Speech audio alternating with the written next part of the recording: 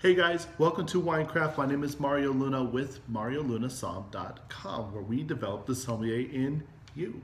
This week, while you're preparing your kids or college kids to go back to school, sommeliers like me, we don't take time off. It, there's so much to do when you prepare for the sommelier exams, like blind tastings. Uh, I got to do a lot of written tests. I have to do, prepare for the service exam while you're getting your kids up at like six o'clock in the morning, I don't have a syllabus. I don't have, to, I, I got to figure out when I have the allotted time to prepare.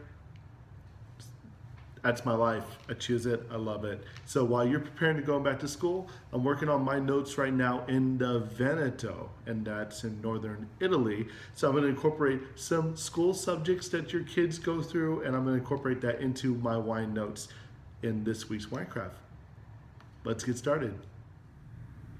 So here are my notes. I mean, when you go back to school with wines from the Veneto, Italy, that's in northern Italy, and you got the beautiful subjects of chemistry, social studies, or you know, like geography, biology, recess, because what school without recess, and art class. So we're going to start in chemistry. You know, in chemistry, you put formulas together, you see bubbles, you see some designs to happen. Well, I'm going to use that for Prosecco, that sparkling wine.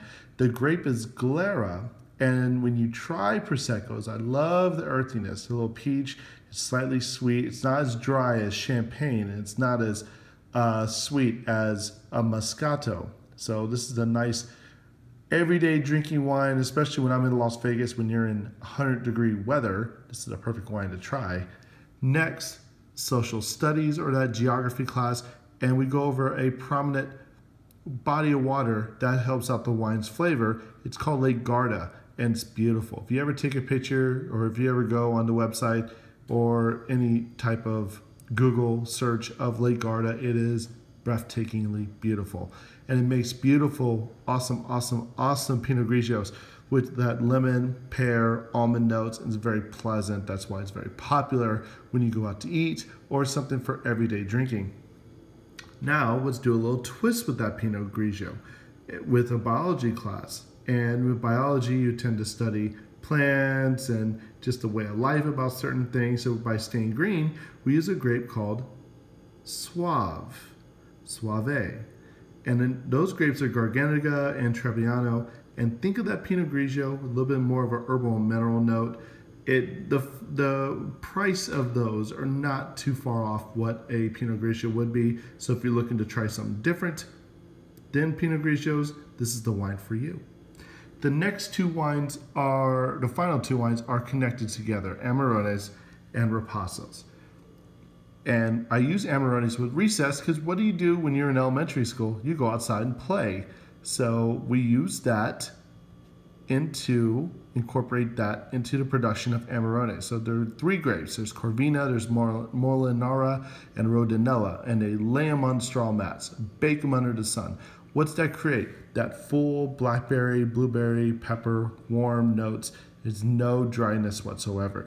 A lot goes into the production, so it's not that cheap to actually enjoy. But finally, we do art class. So where a wine's worth a thousand words, you take that ripasso. I try to use that Picasso reference. I don't know if it's a great analogy, but I think it's good. And you take the same grapes from Amarone and you take the skin of it and you remake that wine and it becomes ripasso.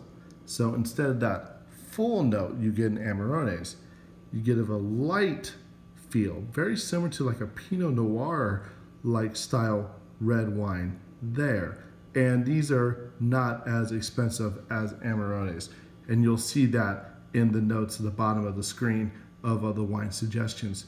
So this is my way of going to school when I go back to school or when you go back to school from the Veneto.